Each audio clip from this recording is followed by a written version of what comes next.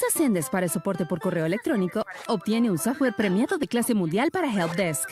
Pero cuando también usa Zendesk para chat en vivo y mensajería, llamadas por teléfono y administración de su base de conocimientos, recibe lo que llamamos una solución omnicanal. Es algo así como la receta secreta para ofrecer el mejor servicio integrado de atención al cliente con más eficiencia y sin condiciones. Ante todo, Zendesk Guide hace más fácil que los clientes se ayuden ellos mismos. Y según estudios, la verdad es que muchos de ellos ni siquiera quieren hablar con usted. No se ofenda, es por facilidad. Si se trata de problemas más complicados, los clientes se conectan fácilmente con una persona por medio de chat, message y talk. Y como las herramientas están conectadas, el flujo de todas las conversaciones puede pasar de un canal a otro sin importar si comenzaron por correo electrónico, Twitter, Instagram o YouTube. Además, todas se organizan en Zendesk Support, una sola interfaz que reúne toda la información, el contexto y las herramientas que los agentes necesitan para resolver problemas y que hace más satisfactorio su trabajo. No importa si su negocio crece lento o rápidamente, Zendesk le ayudará a mantenerse ágil. Podrá añadir canales y agentes con facilidad y rapidez y personalizar el soporte que ofrece. Percibirá el valor de inmediato y aunque crezca, se distinguirá por la experiencia superior de sus clientes.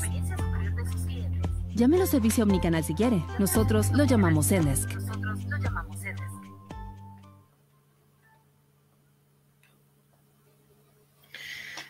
Muy buenos días a todos. Eh, muchas gracias eh, por su asistencia, interés en este webinar. Eh, les doy la bienvenida. mi nombre es Jairo Arevalo, soy el gerente de mercadeo de Walter Bridge. El día de hoy estaremos conversando sobre el CIEX como una ventaja competitiva en el sector de retail. tenemos para, preparados para ustedes una sesión que creemos le generará mucho valor donde estaremos conversando sobre tendencias y mejores prácticas que le ayudarán a acelerar las iniciativas orientadas a madurar las estrategias de CX de sus organizaciones. Durante este webinar eh, estaremos compartiendo algunos materiales eh, que creemos que serán de interés para ustedes, incluyendo una guía de mejores prácticas para canales conversacionales y también un abrebocas de lo que será el eh, un contenido futuro relacionado con tendencias de CIEX 2022.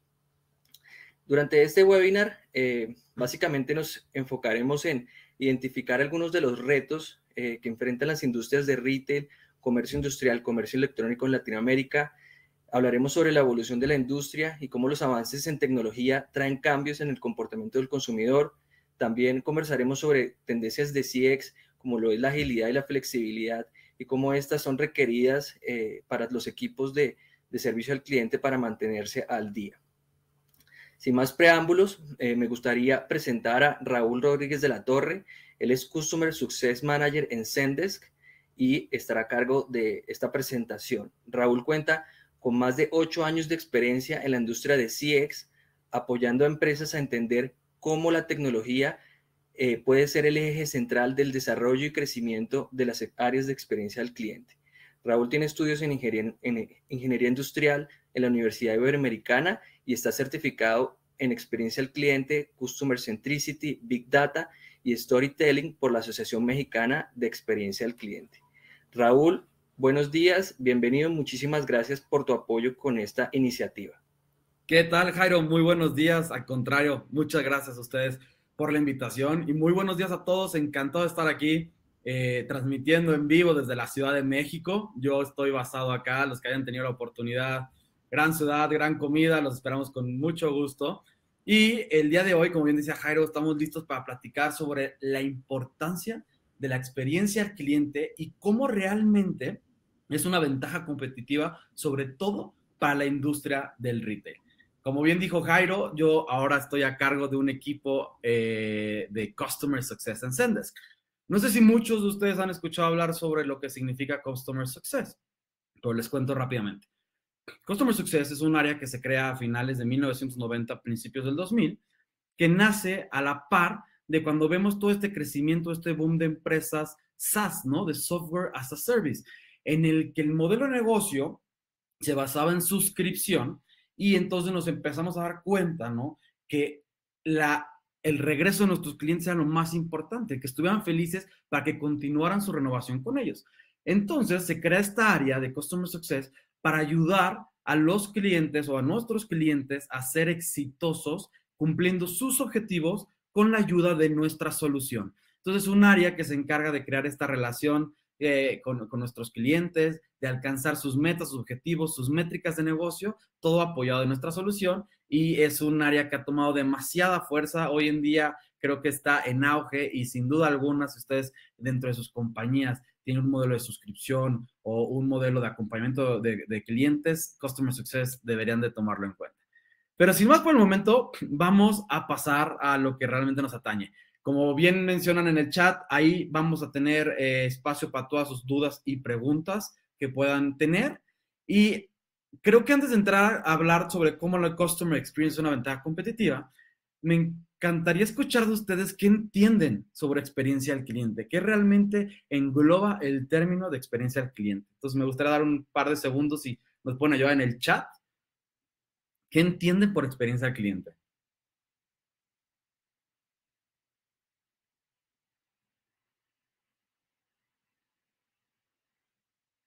¿ok? No los, no los veo muy participativos, pero la experiencia al cliente es la percepción que tiene una persona de esa empresa a través de los distintos puntos de contacto. Ahí Rolando nos pone, ¿cómo me sentí yo como cliente durante cualquier contacto con la empresa o producto? Es correcto, ¿no? Y creo que la palabra aquí clave es percepción, ¿no? Lo que para mí puede ser una buena experiencia, para otra persona no lo puede ser.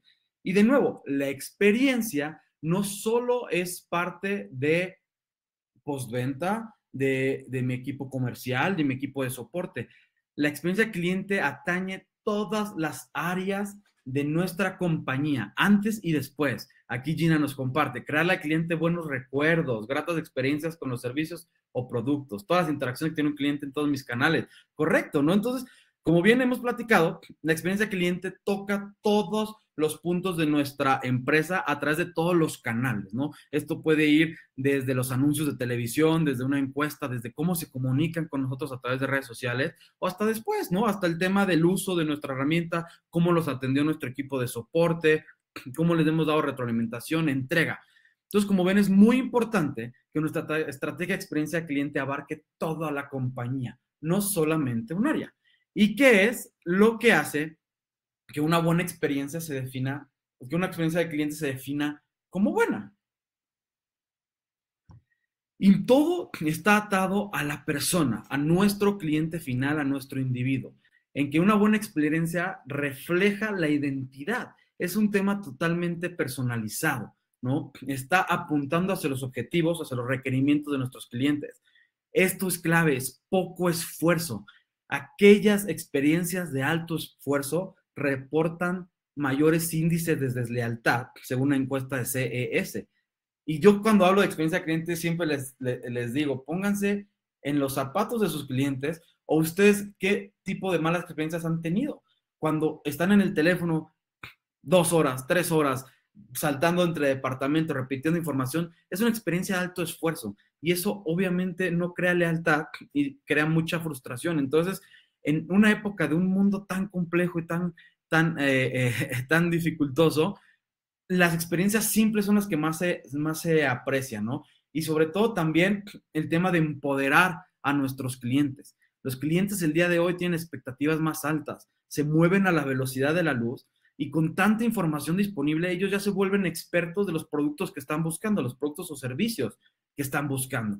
Entonces nosotros hay que empoderar a nuestros clientes a autorresolverse, a autoatenderse a través de distintos métodos, como lo es el tema de la inteligencia artificial, los bases de centros de conocimiento, que ayuden a nuestro cliente a realmente tener esas experiencias, ¿no? De, de, bajo esfuerzo y de alto impacto, ¿no? Y viene una parte muy importante.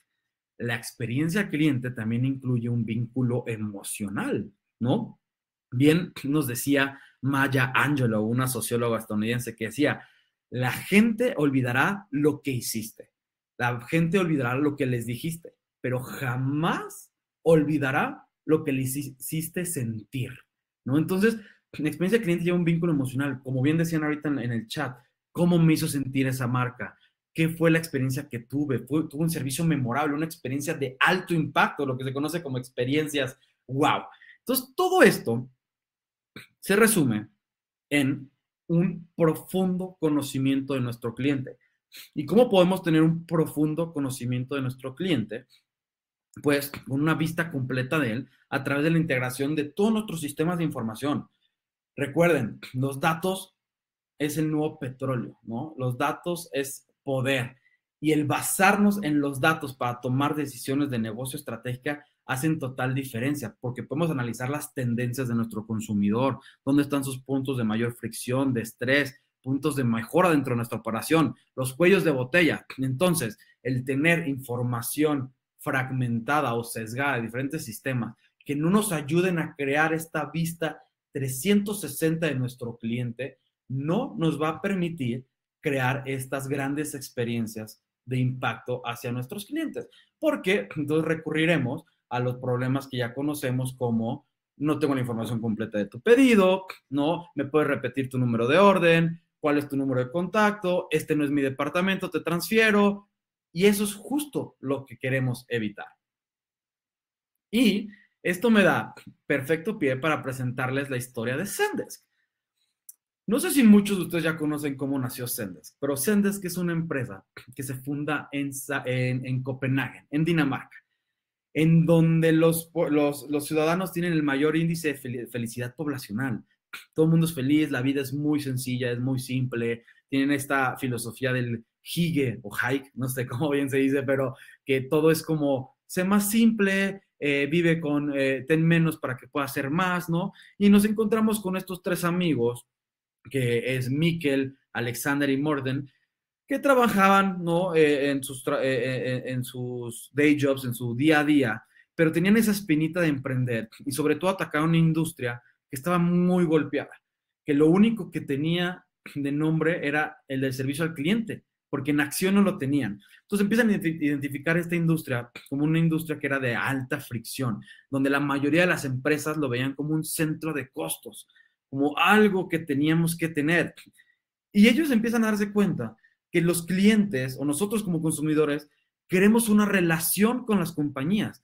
No lo vemos como un ente, ¿no? Este, eh, eh, superficial ahí de compañía, como marca eh, que, que, fuera, sino como alguien en que puedo crear una relación. Al final, ¿no? Con usted voy a ser quien va a estar haciendo mis pedidos a la larga, que voy a estar creando esta relación y con el que quiero estar feliz. Y entonces, como cualquier buena amistad, ellos se dan cuenta que la facilidad la, y la transparencia son claves y es cuando deciden fundar Sendes, se mueven a San Francisco para recaudar fondos, para levantar los, fondos de capital y es como empieza toda esta historia. En 2014 salimos a bolsa y hoy en día eh, estamos presentes ¿no? en más de 160 países, más de 160 mil clientes satisfechos, 19 oficinas globales alrededor del mundo y con más de 5 mil eh, colaboradores. Entonces, el crecimiento ha sido absoluto porque la industria eh, de, servicio, el customer experience es un reto que tiene todo mundo. No está específico a solo, a solo la industria financiera o solo a la industria de retail. Está atado a todo mundo. Hoy en día, quien quiera retener clientes y quien quiera crecer, tiene que invertir en la experiencia al cliente. Y no, es por eso que nos hemos, eh, hemos identificados como promotores ¿no? de, una gran, de un gran servicio al cliente, campeones porque, como ya lo vimos en la historia, llevamos el, el ADN eh, del servicio de la experiencia desde, las desde la fundación de nuestra compañía. Nuestros productos tienen incorporado las mejores prácticas de experiencia cliente que vamos a ver y gracias a nuestro servicio, nuestra solución, apoyamos las experiencias más innovadoras de distintas empresas alrededor del mundo. Estos son algunos de nuestros clientes que están usando Zendesk y que están brindando grandes experiencias en el sector de retail y de comercio electrónico. Seguramente estarán ahí reconociendo algunos. Y estamos muy contentos de platicarles que esto no solo son datos nuestros, ¿no? Que también Gartner nos ha reconocido por sexto año consecutivo como líder en el cuadrante mágico de atención a clientes digitales. Entonces, tenemos una solución completa que no solamente somos un software, sino somos aliados y partners, ¿no? Que queremos asociarnos con ustedes para llevar estas mejores experiencias a sus clientes finales. Pero, ¿qué estamos viendo en la industria de comercio? ¿no? En el sector retail. Aquí, si en el chat me pueden ir poniendo si es algo con lo que se ven identificados, se los agradecería. Hemos estado viendo, gracias a nuestros reportes de tendencias de Zendesk, que ha habido un cambio en los comportamientos de compra. El 37% de las personas prefiere ya no visitar una tienda minorista no esencial, ¿no? Es decir, prefiere todo hacerlo desde casa. Como ya lo sabemos, ¿no? Con el boom de la pandemia, que todos nos tuvimos que voluntaria, forzosamente migrar al esquema digital, también hemos visto un crecimiento en los usuarios de comercio electrónico. Se espera un aumento futuro del 160%, ¿no? En el que, como vemos, a todo al punto número uno, mucha gente ya va a empezar a hacer todos estos pedidos a través del comercio en línea en vez de asistir a una tienda. Eh, también nuevos modelos omnicanales. También estamos viendo que ya la mezcla de compro en línea por la facilidad, de nuevo, ¿no? A lo que hemos estado hablando, la facilidad que es comprar en línea, pero recoger en tienda por un tema de urgencia, ha crecido eh, un 28% de un año al otro. Y algo que también está en tendencia es el envío de comestibles de supermercado. ¿No? Acá en México tenemos una empresa que ha sido un unicornio, ha estado creciendo monstruosamente, que se llama Justo, porque también es un supermercado en línea que justo ataca todos estos puntos de experiencia del cliente, de dolor, de las entregas tardías, productos malos, ¿no? El ir a la tienda. Y ahora lo hace todo digital y te lo entrega a la puerta de tu casa en el mismo día. Entonces, hemos visto un crecimiento del 57% en el tema de comestibles. Y una tendencia muy fuerte que tenemos para los siguientes años es el mundo digital, ¿no? Por sus, por sus eh, mezclas en inglés, que es physical and digital, en el que se busca incorporar lo mejor de los dos mundos que ahora con la vuelta de, digamos, a la nueva normalidad en el que estamos ya regresando a las calles, regresando a las oficinas, a los comercios, la gente o los clientes quieren ver lo mejor de estos dos mundos, la facilidad de lo digital incorporado en las tiendas físicas, como lo es las soluciones de checkout automatizados, ¿no? En los supermercados, tener tus propios kioscos donde tú puedas agarrar tus cuatro o cinco productos, marcarlos, pagar e irte, ¿no? El tema de realidad virtual o realidad aumentada para ver eh, ciertos temas en la tienda, cómo se ve un artículo, cómo se ve la tele puesta, cómo se ve un mueble, ¿no? Ya con realidad aumentada dentro de la tienda para que lo puedas ver. La recolección fuera de tienda que hemos hablado, la interacción contextualizada dentro de la tienda, que tú con tu app adentro de la tienda puedas ir guiándote, te va ayudando a encontrar los productos y finalmente, pues el tema que sí o sí, todos, todos tenemos que ir para allá, el de la inteligencia eh, artificial y el machine learning, ¿no? ¿Cómo nos apoyamos de todo este tema de los bots, de la inteligencia artificial, para tener un, una operación mucho más eficiente eh, y tener mejor experiencias de bajo esfuerzo para nuestros clientes? Ojo, esto no significa que nos van a venir a, sustituir las máquinas, ¿no? O, como muchas veces se, suele malentender, sino que toda esa cantidad de interacciones que se conocen como de una sola, de, un solo toque, ¿no? Que se resuelven muy sencillos, todas las tareas burdas, que no hay necesidad de que una persona humana esté atendiéndolas, se puedan deflectar o se puedan disminuir con la inteligencia artificial, que de aquí nacen las estrategias de autoservicio, los famosos centros el guide que veíamos en el, video de inicio, ¿no? Entonces, esto es de lo que estamos viendo eh, en, el sector retail.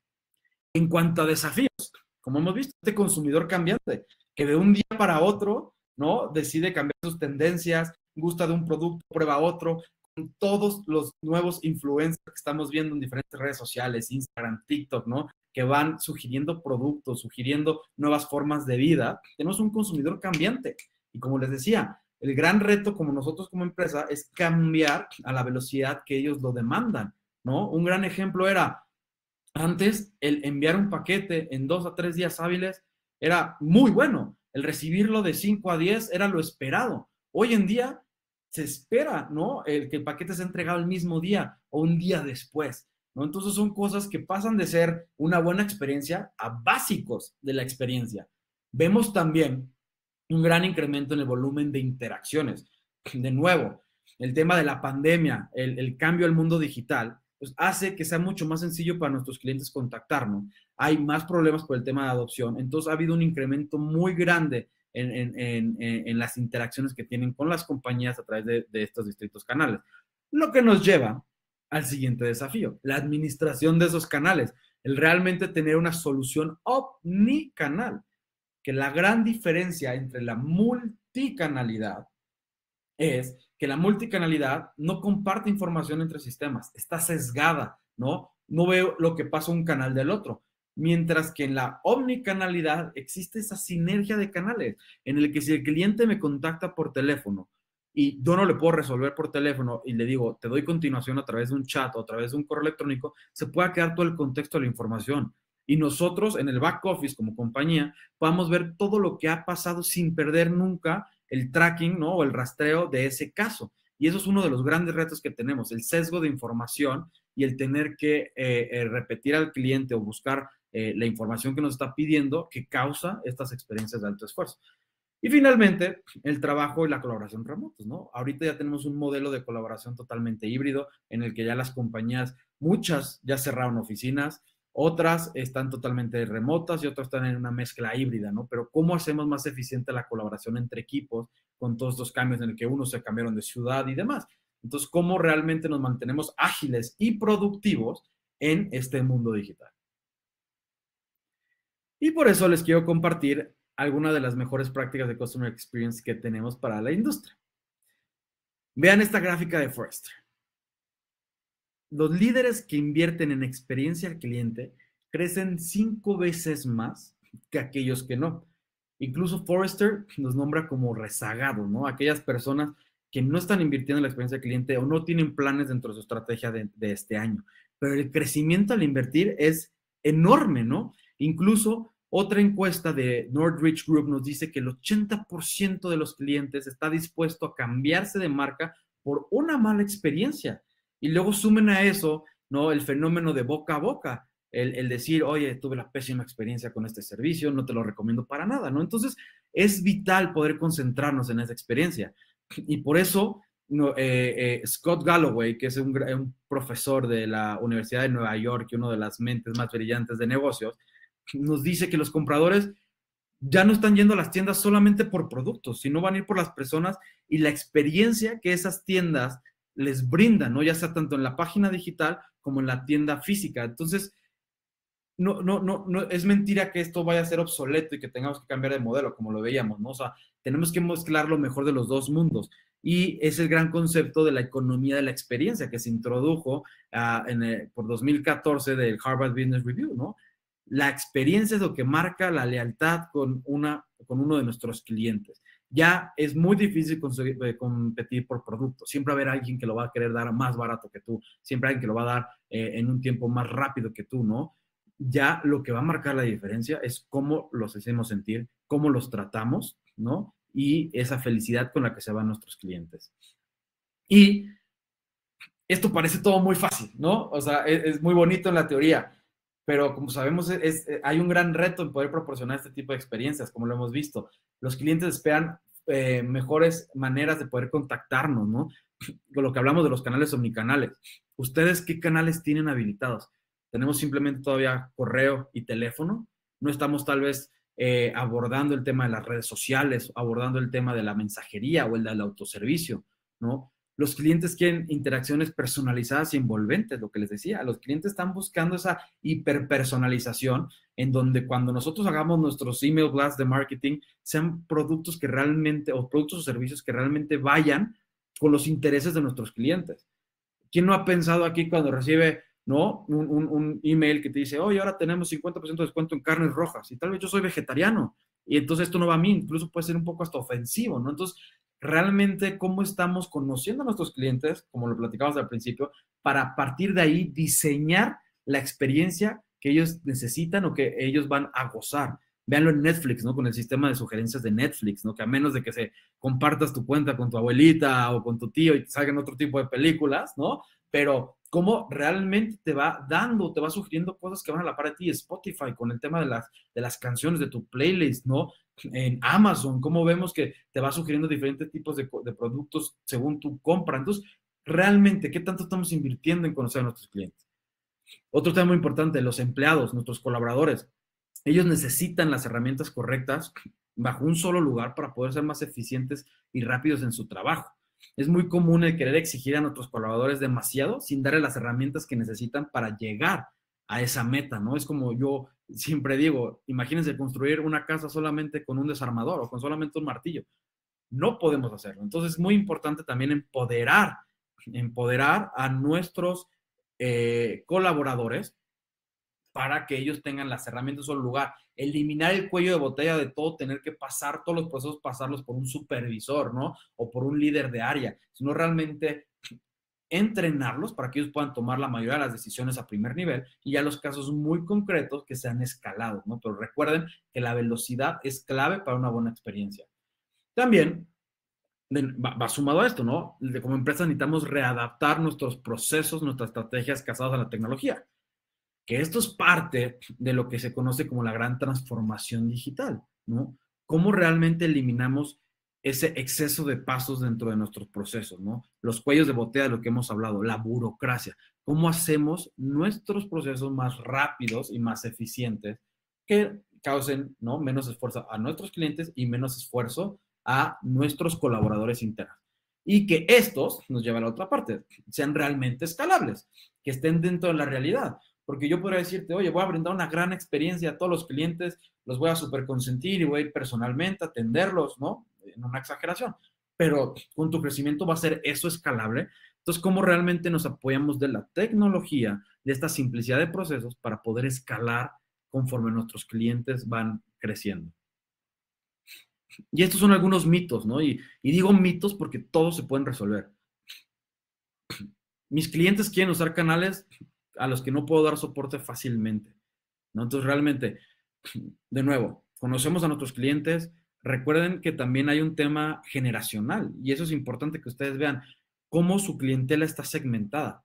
Tenemos a los baby boomers, ¿no? Que prefieren teléfono o tenemos a la generación Z o a los millennials que realmente prefieren autorresolverse o todo a través de redes sociales, ¿no? Entonces, no es un tema de tener todos los canales, es un tema de saber cuáles canales quieren mis clientes y habilitar esos canales.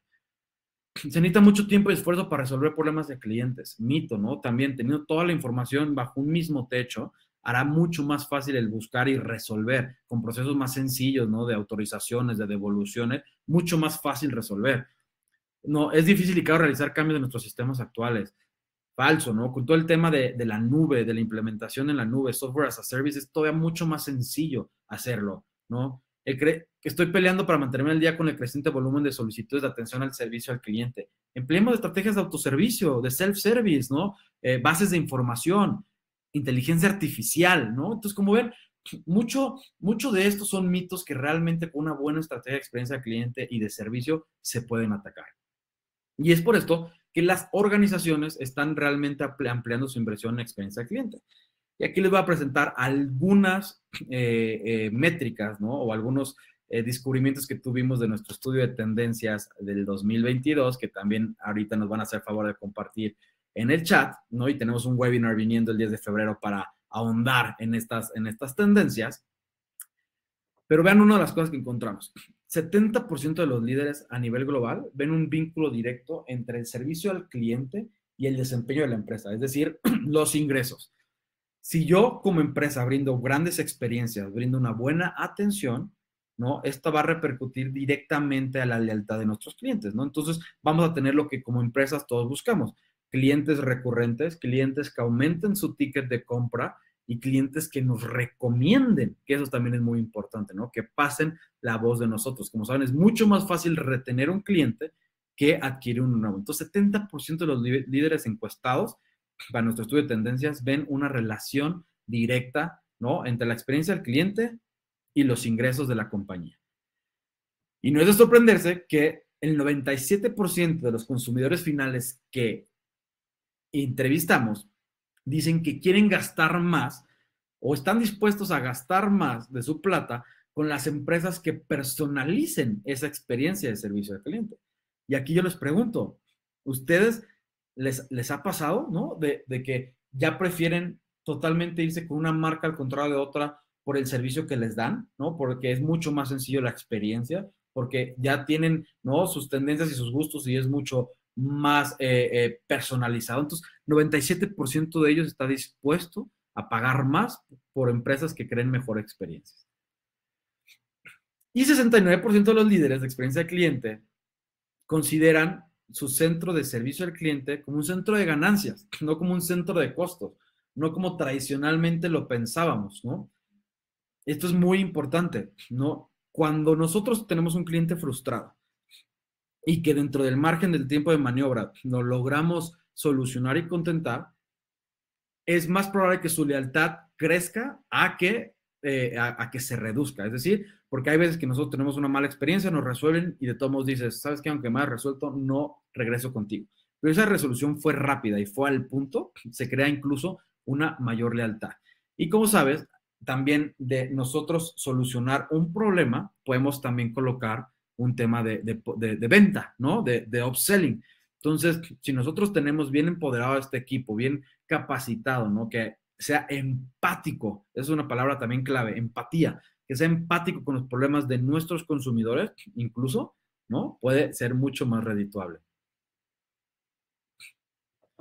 Y vean esto, ¿no? Ya bajando más al tema de, del retail.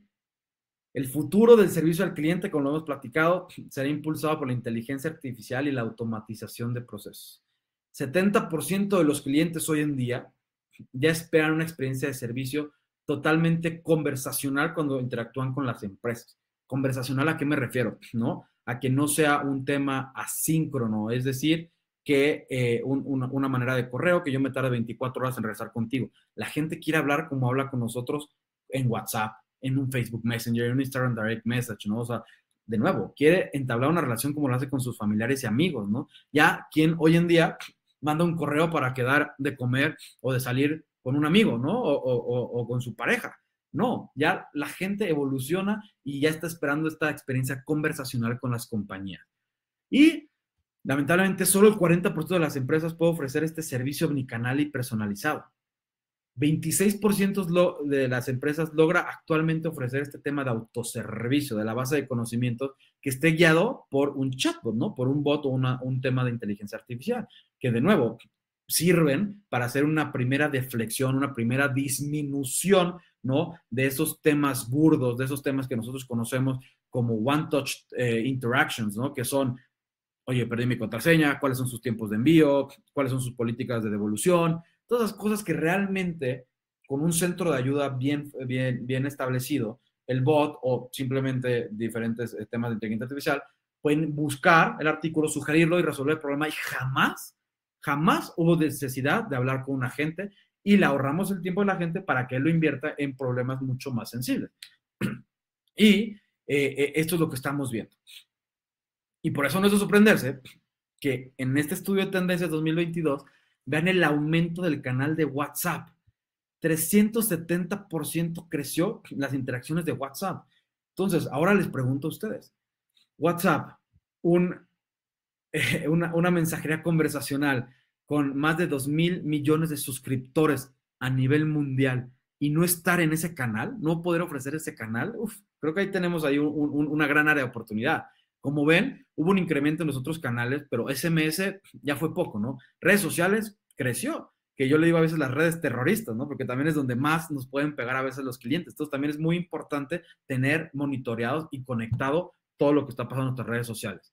La mensajería de redes sociales, el Facebook Messenger, más si nosotros como retail o como comercio ofrecemos nuestros productos o servicios a través de ads de Facebook, ads de Instagram o de cualquier otra red social, pues tener la mensajería dentro de ella, que esté conectada a todos nuestros sistemas es súper importante, ¿no? 24% de teléfono sigue también siendo un canal importante y finalmente lo vemos en el formulario web, ¿no? Que es el de, que tenemos normalmente en nuestras páginas, deja tus datos, ¿no? Entonces, vean todo este aumento de canales, cómo realmente vamos a ser capaces de manejar el volumen sin morir en el intento.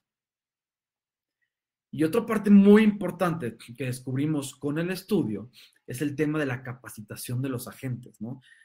hay algo que quiero que se lleven, que es EX igual a CX, ¿no? Que en inglés significa Employee Experience equals Customer Experience. Entonces, si mi colaborador no está motivado, si mi colaborador no tiene una buena experiencia interna, va a ser muy difícil que nuestro colaborador pueda dar esa gran experiencia a nuestros clientes que estamos buscando.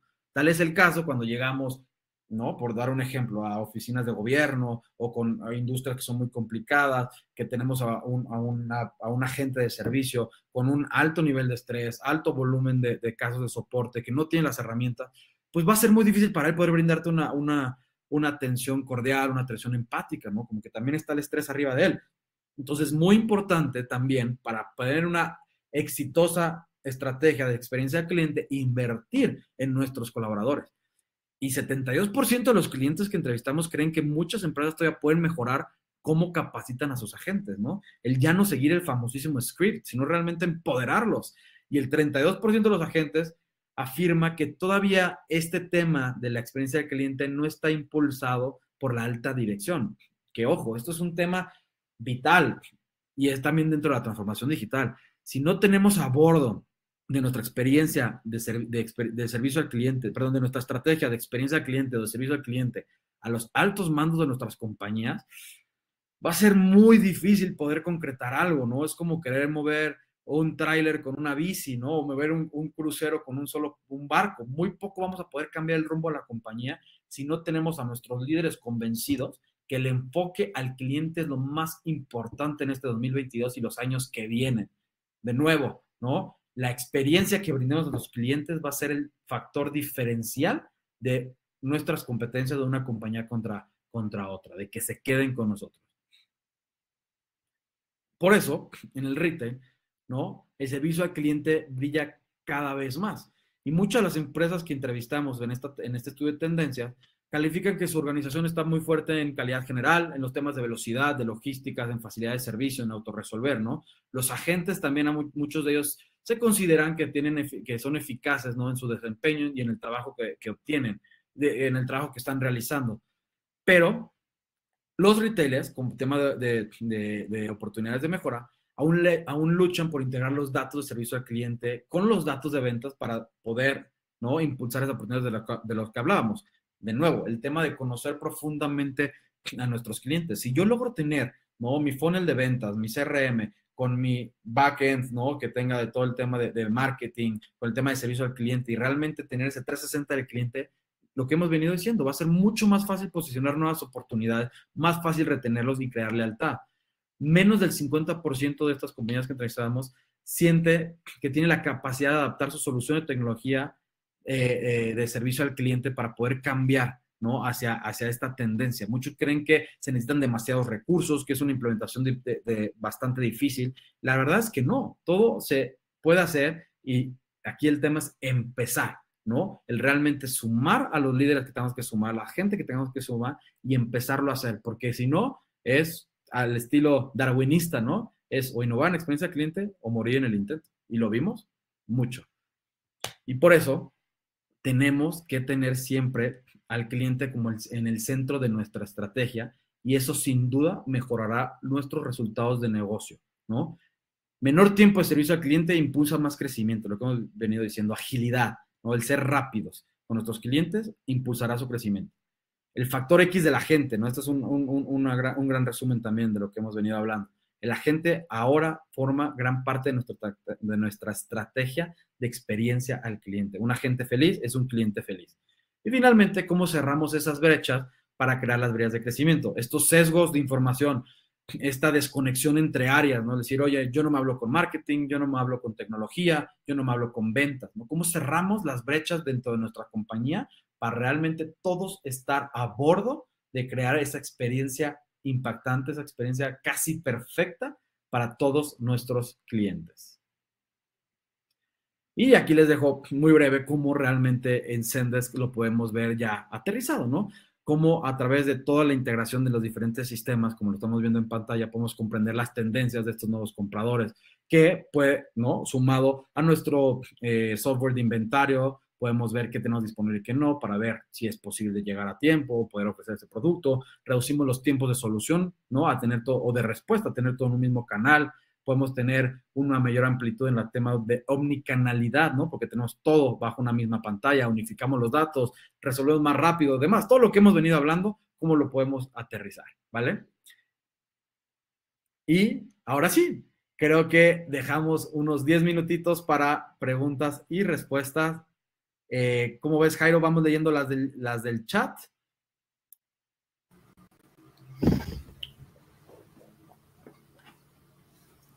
Eh, hola Raúl. Sí, sí, un, segundito antes de, pasar con el, con el tema QA. Bueno, ahí los invitamos a todos a que, a que si alguien tenga alguna pregunta, eh, nos ayuden ahí preguntando en el chat.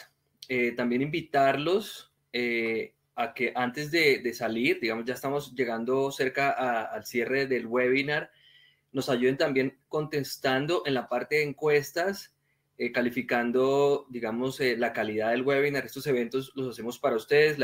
nuestro objetivo es generar valor con el contenido y justamente por eso también los invitamos en la parte de handouts a descargar eh, unos archivos muy interesantes. El primero se llama Ocho mejores prácticas de CX en canales conversacionales. Este, este documento, digamos, resume algunas de las mejores prácticas que debemos implementar por ejemplo, hoy a través de, los canales como WhatsApp, ¿no? Canales como el chat, que nos ayudan tanto en, la, forma para, no sé, automatizar ciertos tipos de requerimientos. Eh, eh, entonces, e, ese, ese, ese, ese contenido es muy interesante. También otro que está relacionado con la madurez del CX en diferentes países de Latinoamérica, incluido Colombia, y también para diferentes eh, tamaños de industrias, ¿no? De pronto empresas pequeñas, empresas medianas, empresas grandes, para que ustedes puedan comparar, digamos, cómo van ustedes con su estrategia de CX versus eh, el, el, el, el, nivel de la madurez en, en, Latinoamérica. Y finalmente también está para descargar la presentación eh, que Raúl nos hizo el día de hoy. Finalmente, antes de pasar al, al, al QA, invitarlos a quien necesite de pronto, eh, requiere algún tipo de asesoría, ¿sí? Asesoría con, con, alguna iniciativa, algún proyecto, algún, no sé, algún tema de una consultoría, cualquier cosa. Eh, ahí abajo a la izquierda hay un botoncito donde simplemente eh, presionándolo ya sabemos que ustedes están interesados en, que, en que nuestro equipo, digamos, comercial los contacte y también si, si quieren eh, lo cual es muy interesante. Eh, yo creo que eh, tengan o no tengan una aplicación, un software de, para diseñar experiencias de Customer Service, conocer Zendesk es una experiencia muy interesante, conocer su interfaz, conocer lo que hace. Realmente vale la pena y podríamos hacer eso para ustedes de manera muy fácil, ¿no? Conocer simplemente una demostración, que ustedes conozcan el alcance, que conozcan las interfaces. Bueno, ya luego de, los temas de los anuncios, eh, nos tenemos dos preguntas hasta ahora. Si, alguien más hace preguntas, eh, las estaremos contestando. Eh, nos preguntan, Raúl Santiago Martínez pregunta, ¿qué proponemos para desarrollar un plan de mejora alrededor del CIEX? ¿Cómo abordar el tema con la gerencia? Perfecto, buenísima pregunta, Santiago, muchas gracias. Creo que cuando, y digo, aquí eh, quiero entender si ya tienen una estrategia de experiencia del cliente eh, en marcha o apenas eh, van a vender el proyecto, ¿no? Por así decirle, a, gerencia. En cualquiera de los dos, el tema de métricas es súper importante, ¿ok? Entonces, ¿qué métricas van a ser nuestras métricas de éxito a los ojos de la gerencia y a los ojos, ¿no? De nuestros consumidores finales. A los ojos de la, de la gerencia, lo que más nos interesa es lo que hemos venido hablando. ¿Qué me va a traer en términos de retención de clientes, de ser más redituables, ¿no? De mayores ingresos. ¿Cuál es el retorno de inversión de esa experiencia el cliente que va a tener? Entonces, yo te, yo te sugeriría ir y establecer esas métricas a la interna. ¿Qué es lo que tu gerencia más está buscando eh, lenguaje ingresos, ¿no? Que pueda representar el proyecto de CX que traemos. Hay muchos casos de retorno de inversión de CX. De hecho, aquí Jairo con Walter te puede ayudar eh, eh, el tema de Sendesk, ¿no? Cómo implementar estas plataformas, estas soluciones de experiencia al, cliente y disminuir tu volumen de interacciones, va a repercutir, ¿no? A tener, obviamente, este, menos horas de agente, eh, clientes más felices y todo eso, ¿no? Se traduce en, ingresos. Y también a vista del cliente, ¿no? Con las métricas más eh, más clave para medir la experiencia de nuestros clientes es el tema de satisfacción. ¿Cómo están nuestros clientes en, tema transaccional en, ese momento? ¿Fueron felices o no lo fueron, no? En el tema de NPS, ¿nos recomendarían a la larga, no? O en el tema de esfuerzo. ¿Qué tanto esfuerzo están teniendo nuestros clientes en cierto proceso de nuestra compañía? Entonces, creo que con este tema de métricas ya podemos armar un muy buen caso de negocio en el que tu gerencia se va a convencer, ¿no? O sea, y ahí te voy a decir, o sea, se va a convencer de que invertir en la experiencia tiene que ser hoy, ¿no? Excelente, Raúl. Eh, muchas gracias por la respuesta. En resumen, lo que propones es eh, entender el negocio, identificar unos indicadores, identificar unos retornos para que, para que las iniciativas casi que caigan por su propio peso. De acuerdo. Sí, totalmente. Nos preguntan también por aquí, eh, nosotros, nos pregunta Luis Delgadilla, nosotros tenemos un call center tercerizado que atiende el canal de ventas. ¿De qué manera se puede interiorizar para que los agentes que atienden estas llamadas se apersonen y puedan ofrecer una buena experiencia al cliente? Súper buena pregunta, Luis. Y este es un tema complejo. ¿Por qué? Porque las métricas del call center muchas veces difieren con las métricas de experiencia al cliente, ¿no? Ellos tienen un modelo de negocio en el que, ¿no? Cobran por volumen, cobran por el número de tickets resueltos y demás. Entonces, muchas veces este tipo de estrategias que pueden crear una mejor experiencia, un mejor servicio al cliente, no van de la mano, ¿no? Con, con las métricas que está buscando un call center. Como por ejemplo, yo te diría, queremos dar una mejor experiencia, un tema de autoservicio o de flexión de tickets a través de inteligencia artificial. Pues para un call center puede representar, ¿no? El tener menos tickets que tratar, por lo tanto, menos, ¿no? Este, eh, menos facturación contigo. Y otro tema muy importante, la pasión al cliente tiene que ver desde las raíces. Es como si yo tercerizo el que alguien quiera a mi hijo por mí, ¿no? O sea, pues, no es mi hijo, ¿no? O sea, no, no es mío, pues te lo cuido, pero hasta ahí, ¿no? Entonces, yo siempre he sido de la idea que el tema de, la, atención al cliente tiene que venir desde las raíces de tu compañía, ¿no? El realmente transmitir esa pasión por el cliente, el por qué estamos ofreciendo lo que ofrecemos. Si ya necesitas un, tema de, un BPO, de un tercero, por llámalo que sea presupuesto y demás, creo que yo entablaría muy bien una conversación con el, con el tercero de las métricas que tú estás buscando, ¿no? Tus métricas de éxito y sobre todo el que te permita tú tener una capacitación con los agentes que ellos van a usar para, ¿no? Que por lo menos sigan las guías mínimas de lo que tú estás estableciendo como una buena experiencia. Excelente, Raúl. Yo, quisiera agregar ahí que, que también vemos hoy en día eh, una tendencia a que, como lo mencionabas, eh, muchas organizaciones están internalizando nuevamente algunos de sus procesos que normalmente tercerizaban, ¿no? El tema de las ventas es uno de ellos, eh, muy relacionado también con los esquemas de, pago, esquemas comisionales que, donde el asesor obviamente puede hacer un mejor, un mejor desempeño y se represente para él también un tema de, mejor ingreso, ¿no? Y y creo que incluso si decides de, tener el, el, el, el, servicio, digamos, tercerizado, eh, creo que el empoderamiento a la gente eh, también puede ayudar en esa, en esa eh, experiencia que le quieres brindar a tu cliente, ¿no? El empoderamiento de tu agente, que tenga las herramientas para poder resolver una situación, que tenga la información para dar una mejor asesoría, que a lo mejor conozca, esté integrado con los sistemas de tu empresa para para que pueda conocer qué tiene el cliente hoy, qué ha comprado previamente, etcétera. Eso puede obviamente ayudar mucho a la experiencia. Incluso si tercerizas el servicio, te decimos de pronto no tercerices las aplicaciones, no tercerices el proceso como tal, o sea, que, puede que tercerices el recurso humano, la contratación, el entrenamiento, eh, pero no, no tercerices el proceso, ¿no? Sé líder de tu proceso para que puedas diseñar la experiencia que tú quieres para tu cliente.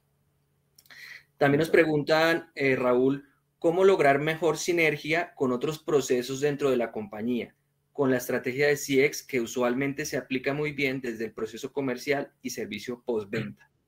Perfecto, Rolando, gracias. Y fíjate que aquí das en un punto muy interesante, que es una tendencia también muy a la alza, donde las compañías ya están nombrando a un CXO, o un Chief Experience Officer, porque normalmente, ¿no? Como bien lo dices, el proyecto es y digo proyecto porque así se ve en muchas empresas todavía, ¿no? Por el tema de experiencia del cliente, lo ponían como una línea punteada a la par del gerente de ventas, a la par del gerente de operaciones, pero realmente esa persona no tenía mucha injerencia en el que si yo detectaba que había un, un, área de oportunidad en el proceso comercial para poder brindar una mejor experiencia, el yo poder realmente llegar con el gerente y decirle, oye, necesitamos hacer esto, decía, no, es que yo vendo mejor, pues, ¿me entiendes? ¿no? O sea, no teníamos como que mucha, mucha influencia en esa parte.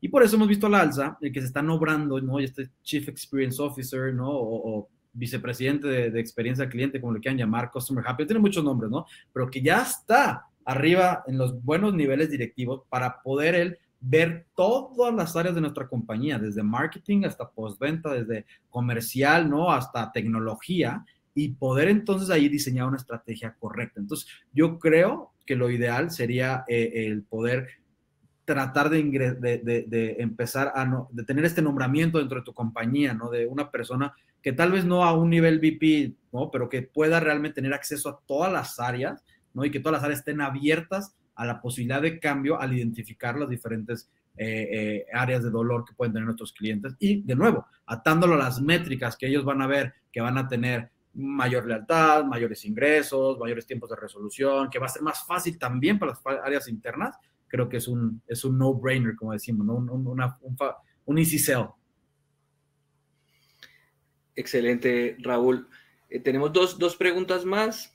Eh, nos pregunta Sebastián Cabrera, hablamos mucho de la experiencia en el punto de venta. ¿Cómo juega esta teoría en formatos como los discounter, donde su estrategia gira en torno al precio? Perfecto, ¿no? Creo que aquí ya se vuelve un poco más complejo, como dice, tal vez para que el modelo de negocio siga manteniéndose redituable para los discounters, pues no pueden invertir mucho, ¿no? En el tema de, de tener eh, eh, eh, recursos para la experiencia del cliente. Yo creo que aquí lo que te diría es ataca el área donde puedes automatizar y donde la inteligencia artificial puede jugar un gran papel, ¿no? Entonces, el discounter lo da muy barato y que cuando compramos algo de esa naturaleza, qué es lo que nos importa a nosotros como, como clientes. No queremos que alguien nos marque y nos deleite con felicidad de lo que acabas de comprar. Queremos que lo que se pueda volver complejo y que al comprar barato nos podría salir más caro, no lo sea. ¿A qué me refiero? El tema de logística, ¿no? Si tú puedes automatizar que fácilmente el cliente pueda traquear, ¿no? Su pedido de lo que acaba de comprar y si tiene algún problema se sea deflectado a través de inteligencia artificial, buenísimo, uno puede seguir manteniendo este tema de experiencia sin tener que invertir tanto para que pueda seguir, eh, que, bueno, que afecte tu modelo de, de, discounter, ¿no? Lo mismo para la atención al cliente. Entonces creo que ya reservaría un, un muy pequeño segmento de atención para casos muy, muy complicados, pero todo lo demás será un deflection a través de inteligencia artificial. Excelente, Raúl, muchas gracias. Y eh, tenemos una última pregunta de Joana Páez eh, nos menciona, gracias por el espacio, ¿qué visión tienen acerca de la asesoría a distancia para ese cliente que hoy visita las tiendas? Es decir, invitar al cliente a llamar o a utilizar una línea de WhatsApp que le pueda guiar su compra mientras está al frente de los productos físicos. Buenísimo. Creo que aquí, como bien menciona Joana, entra un tema de educación, ¿no? Nosotros como clientes a veces solemos, ser perezosos, ¿no? Y nos gusta todo muy fácil. Entonces, por más que nos den la guía de cómo utilizar el kiosco digital, por decir algo, o cómo eh, eh, dar el nuevo recorrido de nuestra nueva tienda, si vemos un número de teléfono, lo vamos a marcar, ¿no? O si vemos un WhatsApp de canal, lo vamos a hacer. Entonces, creo que aquí tú puedes establecer un proceso como de culturización, de educación, en el que antes de ofrecer ese canal en vivo de atención, puedas tener este deflection a través de otro tipo de, canales, ¿no? Como son estos temas de consulta esta guía o escanea este código QR y te voy llevando, ¿no? Eh, o este como click-through que le llaman, ¿no? De decir, oye, perfecto, ya llegaste al producto, da clic en siguiente, ahora escanealo. Entonces creo que puedes tener otro, otras estrategias de, disminución, ¿no? De interacciones, de guía y de educación antes de abrir ese canal de, en tiempo real para poder hablar con, con, con nuestro con un agente, ¿no? Que lo vaya guiando. Perfecto, Raúl. Eh, bueno, muchas gracias eh, nuevamente eh, a todos por su asistencia. muy interesantes las preguntas. Esperamos que les haya parecido interesante la presentación. Quedamos atentos, tanto Sendes como Walter Bridge, aquí como partner de Sendes en Colombia, para poder apoyarlos con sus iniciativas iniciativas alrededor de, los temas de Customer Experience. Eh, Raúl, muchísimas gracias por tu apoyo con el webinar. No, al contrario, gracias a ustedes, encantado de platicar y con mucho gusto ahí seguimos a la orden. Un buen día para todos. Nos vemos pronto, muchas gracias. Chao.